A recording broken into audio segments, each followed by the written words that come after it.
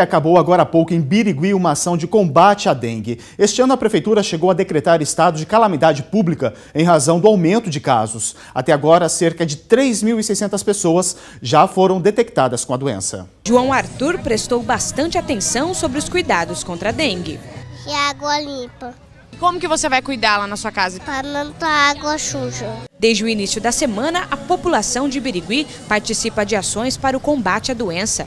Os moradores já sabem o que devem fazer para evitar a proliferação do mosquito Aedes aegypti, transmissor da dengue. Eu ponho sempre areia nos potinhos e limpo o quintal, cuido e previno tudo. Tem que manter as coisas limpas, né?